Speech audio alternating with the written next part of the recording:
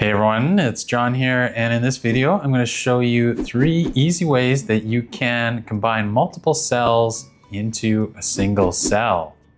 Let's take a look. The first method we're going to take a look at for combining multiple cells into a single cell is going to be using the array to text function. So this is going to allow us to combine a range into a single comma separated list inside of a cell. So here we've got some employee names and their job title, department, and city. And for each of those employees, what we're going to do is combine those items into a single comma separated value inside of a cell. So the array to text function takes a single required argument, and that's the range that you want to convert into text. And so here we're going to convert this row. And then we also have an optional argument for the format to return. And by default, this is going to return a comma separated list for us. So when we press enter, then you can see that what we get is each of the employees along with their job title, department, and city all combined into a single value inside of a single cell. The next method we're going to take a look at is using the text join function to combine multiple cells into a single cell. So the text join function is going to allow us to choose what delimiter that we want to use in order to join our multiple cells. So the text join function is going to allow us to choose the delimiter that we want to use in order to join our values. Let's take a look. So the first argument is the delimiter that we want. And in this example, we're going to join our values with a line break, and we can do that with the character function. So character 10 is going to give us a line break. And then the next argument is whether we want to include or ignore empty cells. So here we're going to ignore them. And then the last argument is the array of values that we want to join. So here we're going to select our entire row. And when we press enter, then you can see that we've got our values joined together and it looks like they're all on a single line. But here, I'm just going to go to the Home tab and wrap the text. And now we're going to see that each value is on a separate line.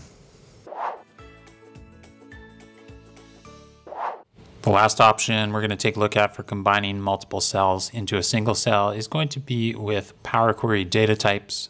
So this is going to allow you to build data types similar to the currency, stock, or geography data types.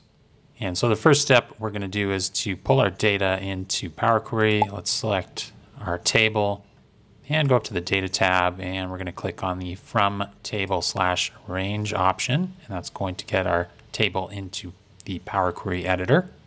Now we're going to select all the columns that we want to include in our data type. So we're going to select the name column first and hold shift and select our city column to select all our columns. And now we can go up to the transform tab and we've got this option here to create a data type. Let's click on that and let's open up our advanced options. Here we're going to give our data type a name. And here we can also choose what to display in our data type. So here we've got name selected. We're going to leave that option. And that way the person's name is going to be displayed inside the cell. And down here we can add various columns to our data type. So because we had selected all our columns here, they're listed in our selected columns list but we can add or remove columns into our data type in this menu here.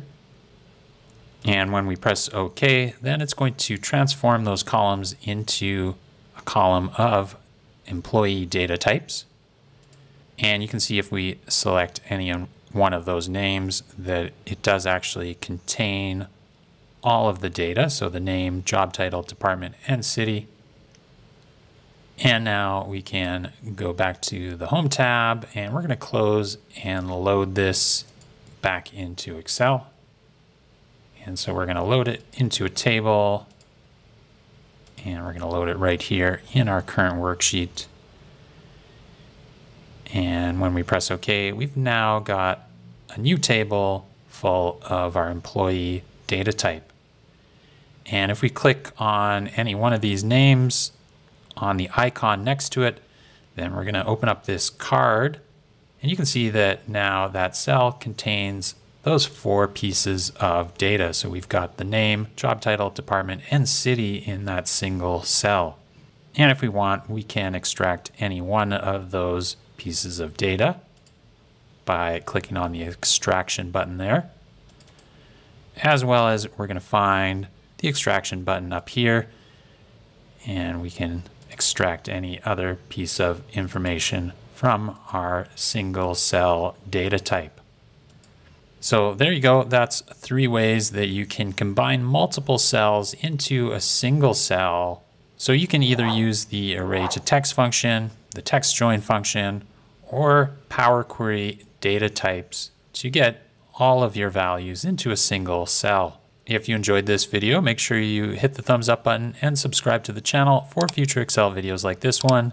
That's it for this video. We'll see you in the next one.